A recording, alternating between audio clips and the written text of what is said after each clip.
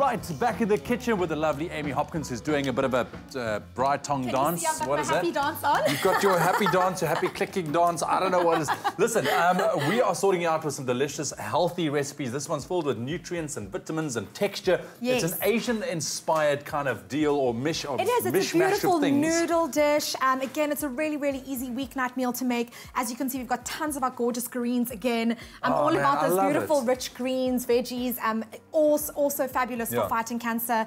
Packed with antioxidants, And- and- which fight your free radical Yeah, yeah, damage. you know all of that. So And once again, great if you're following a plant-based type of lifestyle. Yes, so, so let's get into it, Amy. This So- looks like a lot to get through. Yes, so what, what we've got over here is um, some tamari, which is your gluten-free soy Yes. sauce. That's going to give it the banging flavor. We've got some mirin and some sake as well. These are kind of our beautiful Asian flavors. You can, of course, use something like rice wine vinegar if you can't find sake. And sake does have a little bit of alcohol in it. So if you want to Yeah. do alcohol-free, go for your rice wine vinegar. Right, but I mean, it's such a little It's amount that you're really, putting in there tiny. anyway. So what we're going to do is just put some oil in a hot pan. As you can see, you want the pan to be nice and hot because with stir Yeah. fries, it's about quick It's about quick, cooking, yeah. crunchy foods. And then we're going to quickly, whoop, we're going to quickly add our mmm, sizzling garlic chili and uh, Look at lovely you. ginger. Look at I, that. I don't even know if I should help out at this stage because it seems you get everything under control, which is good. But if you want to get your hands on this dish uh, or this recipe, Little the keyword is dish. SMS that to 33728.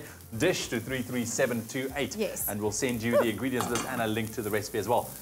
So what I'm doing now is adding some mushrooms. I think whenever you're doing like a, a plant-based meal, you want to be able to have some ingredient that gives you that almost That that body, that, body, yeah, that kind of heartiness. grounds it. mushrooms are fabulous for that. And also mushrooms are a great plant source of vitamin D, which is again very important for a breast cancer uh, diet. Yes. And um, in fact, there's a theory that um, if you leave your mushrooms in the sun, they absorb even more vitamin D. I heard that. You can yeah. call them sunbathing your mushrooms. So we're just going to saute those very quickly. Add the rest of our greens. We've got some beautiful broccoli over here. All right, there we go with a tender stem, which I also Yes, love. tender stem just to shake things up a little bit. Some baby right. spinach.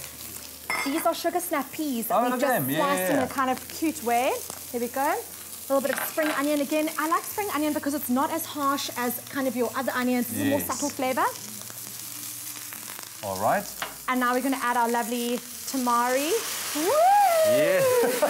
The excitement from Amy is, oh man, it's you infectious this smell how morning. gorgeous that is? But that's what I love about Asian kind of, eh, the flavorings are so nice. It's simple, really healthy. And you can see how quickly those spinach starts wilting. And, Exactly. And, and I mean, you, don't just want to get it to going wilt for a little much bit. longer than no, this. not at all. We're going to put our lovely rice noodles in here now. You can obviously serve this dish just with rice, Yeah. but rice noodles makes it quite fun and it's a little bit different. We've got a little bit of water from the soaking liquid left, so I'm just going to add a little bit of that in as well. Okay. Go and Just just a bit of liquid, yeah. mix this all together. And look There at that. go. Listen, the keyword once again is dish. SMS that to 33728. That's dish to 33728 to get your hands on uh, the ingredients as well as a link to the recipe. You can also uh, visit uh, our website, expressoshow.com. As you can see, we've got our ready-made dish over here. Yeah. Um, absolutely gorgeous. We're going to just add a little bit of coriander to this. This is our last touch, and I love coriander again. Oh, so good for you. It's actually a great natural detoxifier as well. And then, of course, fresh lime juice. goes Oh, in there. I mean, the just flavors of this, you can, you can smell it. Oh, Um, it. It smells absolutely amazing. So just with regards to the noodles, you didn't cook them or anything, just some boiling Just water. soak them in some water. Normal water. Exactly. Uh, I would go warm or room temperature water, obviously, but warmer means they'll soak a Yeah. bit faster. While so you don't want them to be completely soft because once they come in here, they're going to soak up the beautiful tamari and other liquids and flavors. right. So you just set this aside for about um, five or so more minutes, and then And then we're good to ready. go. That's the finished product. It looks absolutely amazing. It smells absolutely amazing. The keyword once again, dish to 33728. Amy, thank you very much for sorting us out Absolute with some healthy eating this morning.